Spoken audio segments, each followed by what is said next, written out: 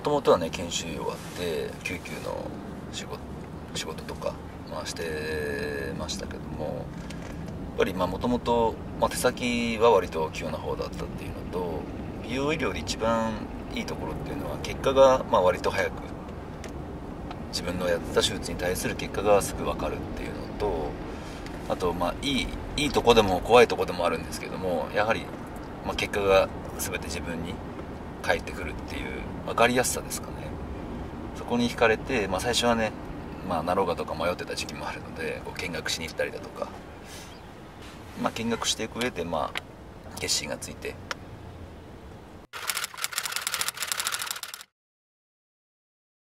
まあでもまず最初はですね何もできないんですよね。そのね普通の救急とかの医者としてのスキルは。ありましたけど美容外科としてはまたゼロから1からスタートですからまずはもうずっと見学からのスタートですよね。それは結構もどかしかったですね。それまではある程度ね頼りにされてた立場からまたゼロからあの学ぶっていう立場だったので。手術をする側になってから感じたことっていうのはあるんですか、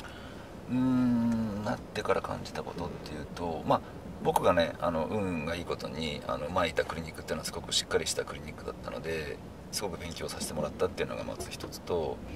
あとはそこはよく単位でこうトラブルじゃないけども、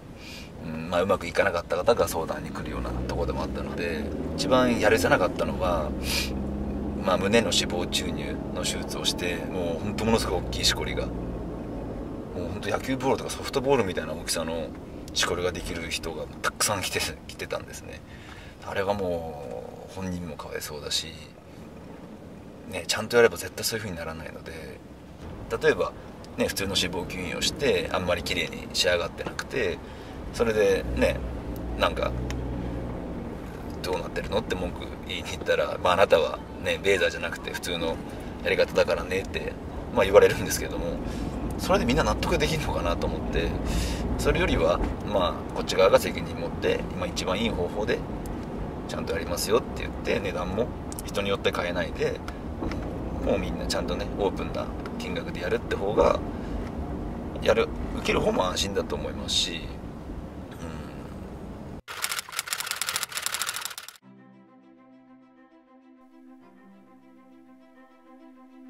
自分の言葉でその患者さんと話したいなっていうのがすごくあったので、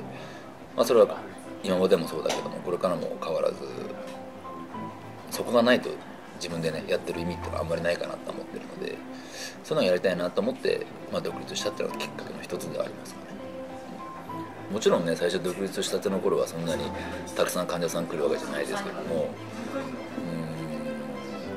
うんまあこういう理念考えでやっていればそのうち自然と多分そういうもそういうのを求めてる人っていうのは多分たくさんいるんだろうなってのは思ってましたし、うん、あとはどうだろう、まあ、脂肪吸引だからあの、まあ、リピーターっていうかどうかしいけれども1回やったところはもうそれ以上細くはならないので、えー、何回も来るわけじゃないんですけども嬉しいことに、まあ、前の職場で例えば二の腕やった人とかが僕が独立したっていうのをどこかで調べて今度はじゃあ足もやりたいとか